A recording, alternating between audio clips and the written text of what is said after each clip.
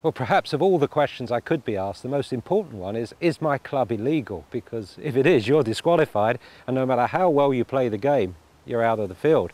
So you need to know that at the start of this year, 2008, the R&A and the USGA implemented for amateur golfers a hot face rule.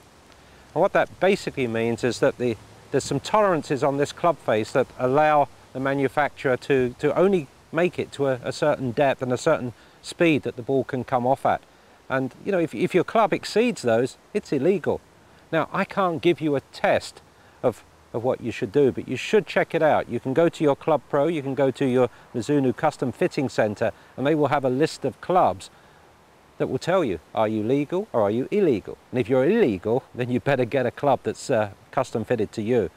So this is a time in, a, in the sort of history of golf when clubs, when you're buying second-hand clubs, you better be careful because you might be some, buying something that you can't actually use.